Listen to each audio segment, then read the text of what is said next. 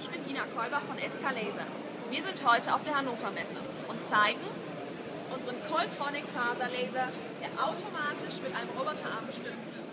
Ich starte jetzt einmal den Laser und als erstes wird der Roboterarm den Laser öffnen.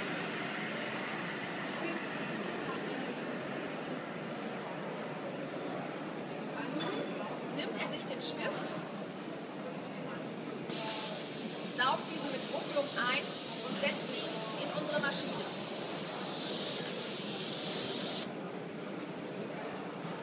Als nächstes wird die Tür automatisch verschlossen.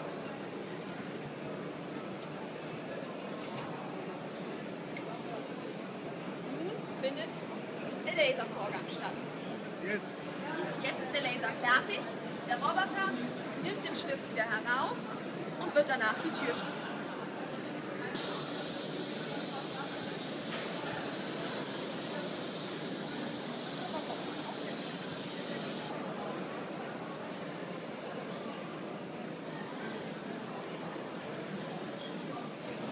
Weitere Informationen erhalten Sie im Internet unter www.sk-laser.de.